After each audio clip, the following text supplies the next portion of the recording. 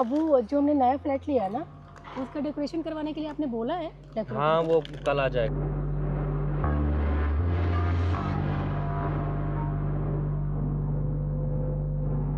ए hero चल police station. लेकिन क्यों साहब? क्या हुआ? तूने अपनी माँ का मर्डर किया है ना? अरे नहीं साहब कैसी बात कर रहे हैं? मैंने कोई मर्डर वर्डर नहीं किया है। आपको कोई गलत फहमी हुई है? अरे कोई गलत फहमी नहीं है। तेरे नाम पे एफ़ दर्ज है और कई महीने से तू गायब है। चल। सर सर एक मिनट। आपको कोई गलत फहमी हुई है? इनकी माँ के मरे हुए तीन साल हो गए।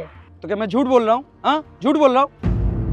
अरे नहीं साहब आपको शायद कोई गलत फहमी हुई है। ये सच बोल रही है मेरी माँ को मरे हुए तीन साल हो चुके हैं। अरे कोई गलत फहमी नहीं हो रही है। चल। आपके पास कोई प्रूफ है क्या मेरे खिलाफ? तो ये क्या है?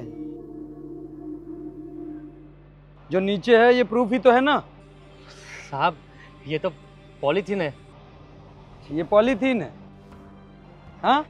इसी से कई माओ का तूने मर्डर किया है। मैं कुछ समझा नहीं साहब आप क्या कहना चाह रहे हैं? तुम लोग पढ़े लिखे लोग हो ना? हाँ? आए दिन तुम्हारे जैसे लोग खाते हैं और यही पॉलीथीन फेंक देते हैं। तो हमारे यहाँ की जो रोड पे घूमती हुई गाय है ना, वो खा लेती है। और गाय को तुम लोग अपनी माँ मानते हो ना?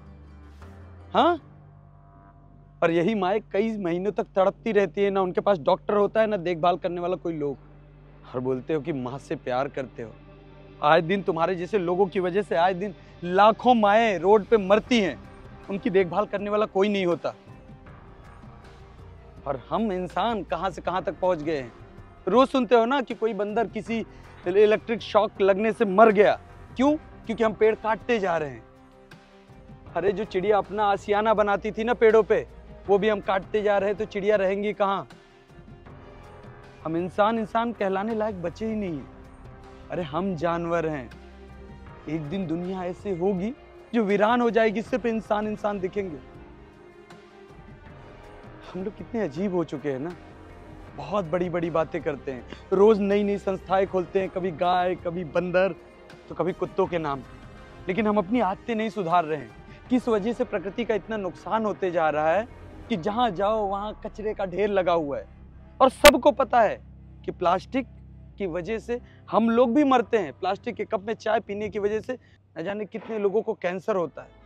ये गवर्नमेंट का दिखावा तो ज़रूर चलता है कि प्लास्टिक बैन होना चाहिए। लेकिन हर कदम पे, हर चीज़ में प्लास्टिक होती है। तो आप लोगों से हाथ जोड़ के इतना ही बोलना चाहूँगा। आप लोग पढ़े लिखे लोग, समाज को सही दिशा दिखाओ। अपना घर ना कोई गंदा नहीं देखना चाहता।